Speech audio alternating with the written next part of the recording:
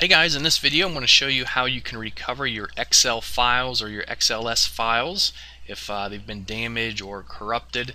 Um, this is a really really easy tool to use and I'm going to show you how to use it here in just a second but you can download a demo version of it here at this website it's softdeal.org forward slash Excel and this link is also under the video in the description box. If you just click on it it'll take you straight to this page.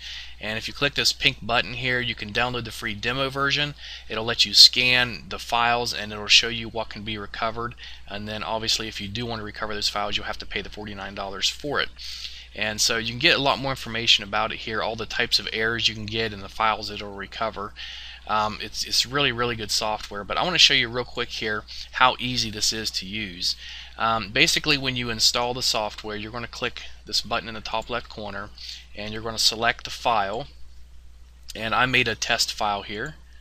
Just going to open it and we're going to add it and you're going to see it over here and it's already check marked. Now all I have to do is click on it and it's going to automatically uh, load that file. And here it is.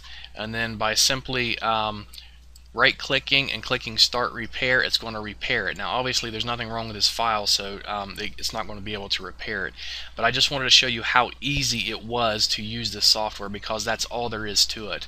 Uh, basically you load your file you repair it it repairs it and you save it and and you got your file back. So if you're having um, uh, if you have some kind of a corrupted Excel file um, I highly recommend you at least download the demo version of it to see if it can recover it.